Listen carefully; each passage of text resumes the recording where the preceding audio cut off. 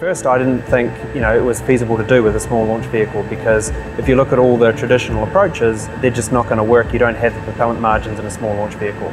So um, we had to look at different approaches. And as we started to, to pull real data from real flights, um, it became obvious that there was an approach that, we, that, that could work. It was a little bit unconventional, and we started off down that path. The most important thing that we're trying to achieve here is just to get the stage down to earth in one piece, or as close to one piece as possible. Um, so we won't be trying to scoop it out of the sky with a helicopter. We have demonstrated that we can do that, um, so I'm not too worried about that. The real challenge for us here is getting it through the wall, getting it under a parachute, getting it decelerated, and gently touching down into the ocean where we'll go and pick it up with recovery vessels. Vehicle is fully on internal power. Stage 1 and stage 2 tanks are pressed. Team understand? 9, 8, 7, 6, 5, 4, 3, 2,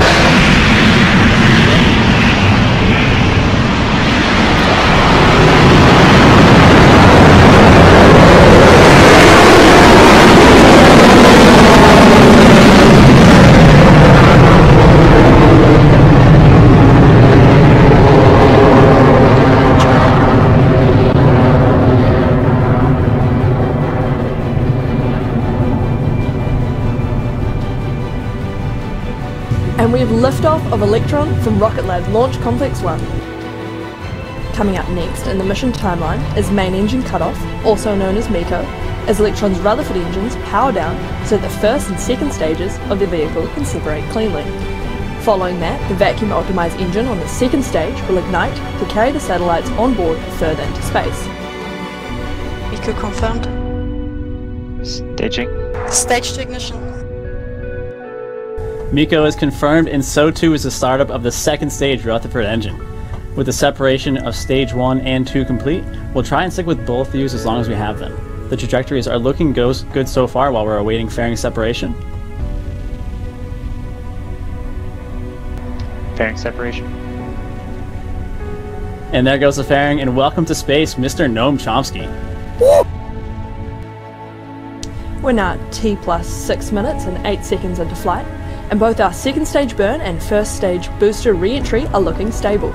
Next up will be battery hot swap to continue supplying power to the second stage engine and systems. We've had battery hot swap confirmation and we're about a minute and a half away from when we expect stage 1's drogue chute to deploy. The ride is going to get a little bumpy on the way back down with the booster reaching several times the speed of sound on its fall back to Earth. We should expect the first stage's main parachute to deploy at about 8 minutes and 44 seconds into the mission. We've just had confirmation of successful drogue chute and main chute deploy. We can't wait to share these photos of recovery in the coming days.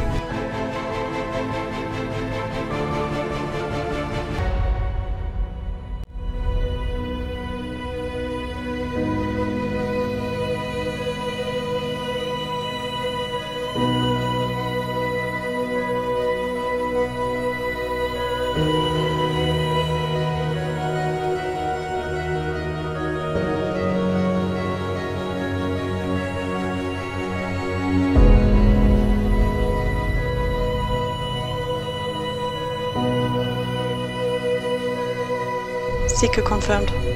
Nominal transfer orbit. Electron's second stage takes us to an elliptical orbit where the kick stage then separates. From here, the 3D printed Curie engine on Electron ignites to propel the stage and its payloads to a circular orbit for deployment. Using a cold gas reaction control system, or RCS, the kick stage accurately points itself to deploy each satellite to a precise and individual orbit, even on rideshare missions with multiple satellites like this one. Once the satellites are deployed, the Curie engine reignites, propelling the kick stage to a lower orbit, where it will be dragged into the Earth's atmosphere faster, leaving behind no space junk in orbit.